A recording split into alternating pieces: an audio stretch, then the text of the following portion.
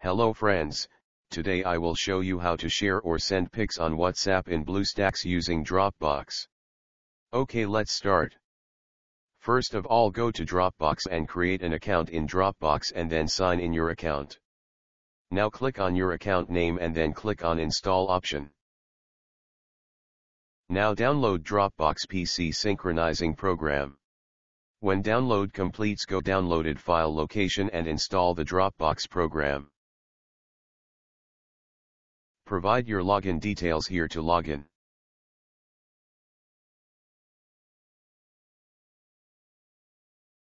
Here is your Dropbox location shortcut. Now turn on your BlueStack app player. Now click on search icon and search for Dropbox and click on install. Here are the list of items searched in different app stores. Now select Dropbox from Google Store.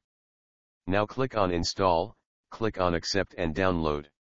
Now Dropbox is downloading and when downloading completes it will automatically installed in BlueStacks. Now click on home button, now click on Dropbox. Click on start. Click on I am already a Dropbox user. Provide your login details and log in.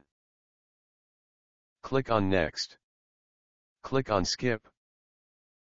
Now minimize BlueStacks and select the file which you want to send to your friend. Right-click on File, click on Send to and click on Dropbox. Now go to Dropbox and check whether the synchronizing is completed or not. Maximize the BlueStacks. Now click on menu icon and then on refresh button, now click on file. Again click on menu icon and then on three vertical dots.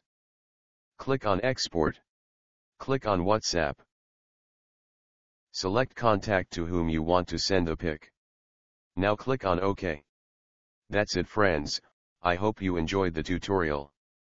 Thanks for watching and, please don't forget to like, comment and subscribe.